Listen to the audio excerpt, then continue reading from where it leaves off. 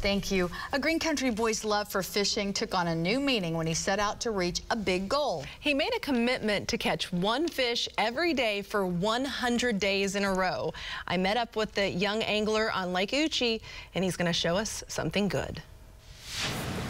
See, there's a little, those little dots right there. Those are little bass out there. He's just eight years old, There he is. but already an expert on the water. The only reason I'm throwing that jig so much is it's a slow-moving bait. It's, it's not going fast.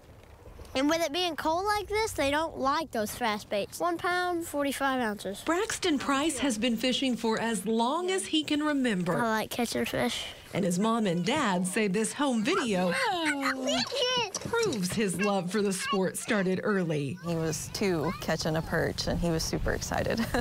At this point, Braxton has caught more fish than he can count. But this summer and fall, he started counting for a personal challenge to catch one fish every day for 100 days. we started it just as kind of let's see how many fish we can catch, how many days um, in the summertime. And then it got, you know, we got in 30 days and we got in 50 days. And it's like, well, let's try to shoot for 100. So no matter the weather, Braxton was out in the elements catching fish. I've fished in cold weather conditions, uh, rainy weather conditions, and 100 degree weather. And while he says some days were tough, Braxton was always tougher. It was hard. Like, I was almost like, I just want to give up, but I never did.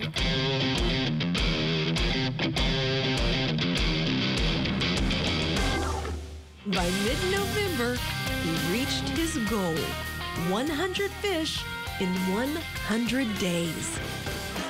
And his 100th catch was his biggest. I went spoonbill fishing, and we caught a lot of fish. I think I caught eight spoonbill, and the biggest one I caught was 53 pounds. We had a really good day.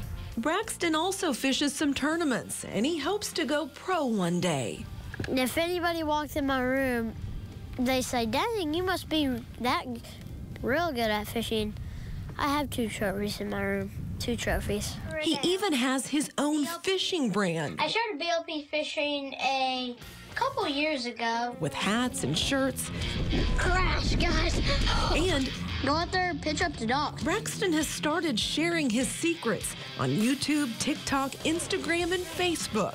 But it's going to be above the bottom. He likes being on social media, If you guys have a question, just ask. Thanks for following along. but his favorite place to be is right here with a fishing pole in hand. Big, little, I don't care, just whatever bites. I just like fishing either way. I love that kid. I love that kid. I am a So big Braxton natural. fan. Me too. We need to get his fan club started. I, I think so. So whenever uh, he did the challenge, he was just eight, but today he's nine years old. So happy birthday to you, Braxton. I think he's probably going to set out for many more challenges in the future. Bud, you're a natural. Keep it up. If you want to start a new uh, string here, wait until after we get through this really cold Yeah. weather here. All right.